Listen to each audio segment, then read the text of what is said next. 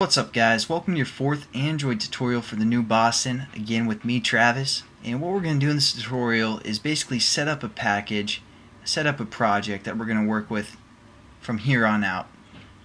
So before we can set up a project, you guys want to go into set up your preferences for the most part and locate the SDK that we downloaded in the last tutorial. Now if you're running on Windows, you want to go up to the Windows tab. That's where I got confused in that other tutorial. And under the Windows tab, there should be something called Preferences right down here. But on a Mac Mac computer, you want to go under the Eclipse tab, and the Preferences is right here. So you click that, and then you go to this folder called Android that's now located, or now, uh, you're welcome, Android SDK, you're welcome. Proceed. Alright, computer's frozen. Awesome. So Okay, no, it's not. But okay, so sorry for losing focus there. Go into this Android tab, or just click on the Android, and all sorts of errors are coming up.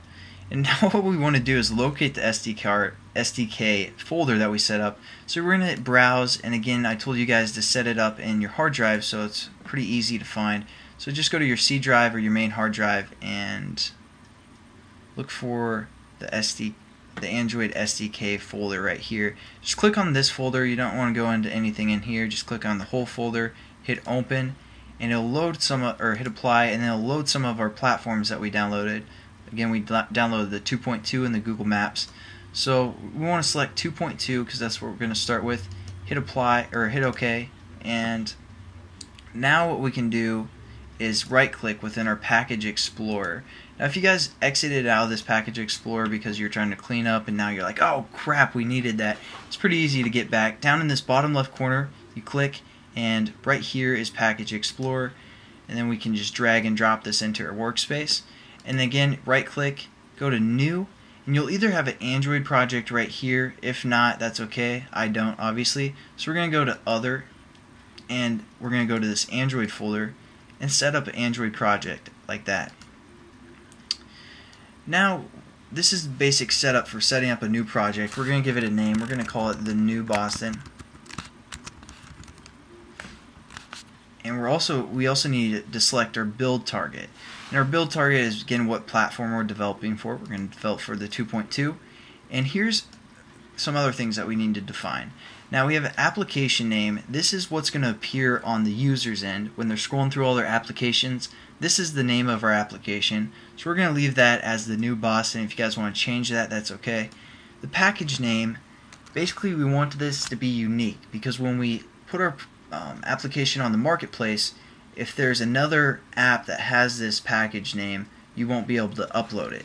So we're going to make it unique. In general, generally, uh, you want two identifiers. So you can say like t dot t, and that'd be two identifiers for the most part. But generally, what people do to make make sure their application's unique is they if they have a website, they do it backwards, like com dot uh, the new Boston dot Travis, and that's just going to be our package name. Hopefully, that's unique enough for the marketplace. Uh, again, you need two identifiers, and you do that by hitting the period to create a new identifier for the most part.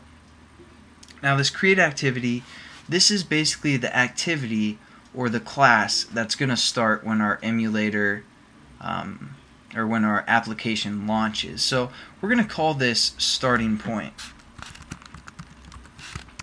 like that. One word. If you guys have two words, it's going to give you an error and you won't be able to finish. So make sure it's one word. We're going to call this activity starting point. And we're just going to hit finish and it's going to set up our project for us as you can see right here. Gives us an error because it's still building the project. It takes a little bit. Alright, so there we go. We have our project set up and I'm going to kind of define what this project holds and how to add folders to it in the next tutorial. So hopefully you guys got followed along and understood how to establish a new project and I'll catch you guys in the next tutorial. Peace.